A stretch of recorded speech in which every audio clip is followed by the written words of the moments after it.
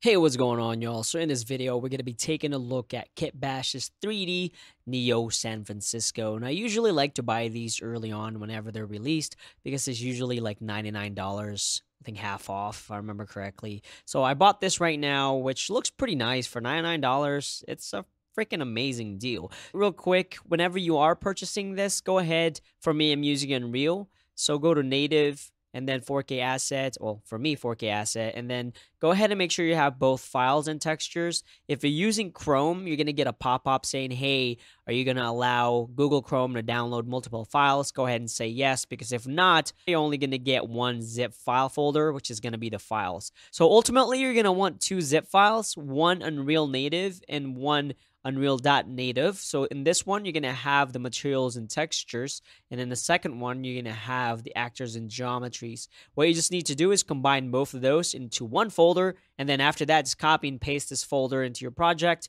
open your project, and it should be good to go. So I placed a couple of these actors already on the scene. Now I'm saying actors because they're blueprints pretty much. They're like pre-populated, which is really nice because you just pretty much drag and drop them. But if you want to see the static meshes, you can look at the geometries and you can kind of see the breakdown. But these blueprints look pretty amazing to me. And as you can see here, we have four folders, which is what you want. Okay, so we're just going to go ahead and walk around here so you can kind of see what's going on. Uh, I just plays all these randomly at all. But I just wanted you to see the scale of this thing. So let's go ahead and press F11 and just walk around so you can see it. And again, for $99, and no, I'm not affiliated with Kitbash, this is pretty good because you're going to actually use these in like virtual production, LED walls, and also obviously short films, like wide shots and, you know, mid shots and close ups. But yeah, this looks pretty darn cool. Now, I did skip their Midwest pack because I don't really have any story for that right now, but I am buying anything that looks modern. I pretty much purchase all their Cyberpunk kits, and I think I have another Neo City or something like that. But yeah, whenever they do go on sale, I usually check it out.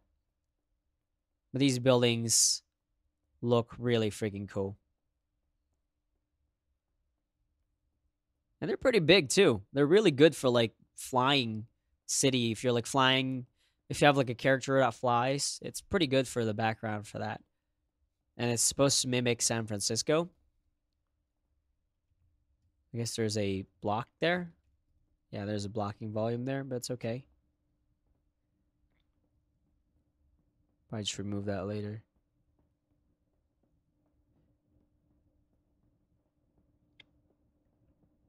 That's pretty big, man. For 99 bucks, you're actually getting a lot of buildings.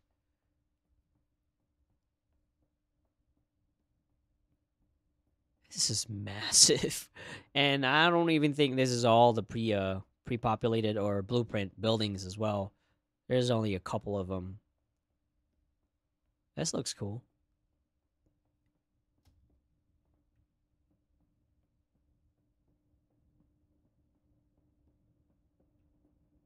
Okay, so I can't go there.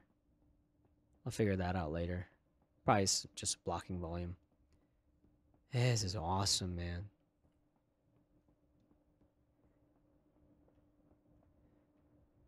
I feel like something's wrong with this one right here. I don't know. I don't know if it's supposed to look like that. But maybe the material was not correct. But I'll go ahead and press escape.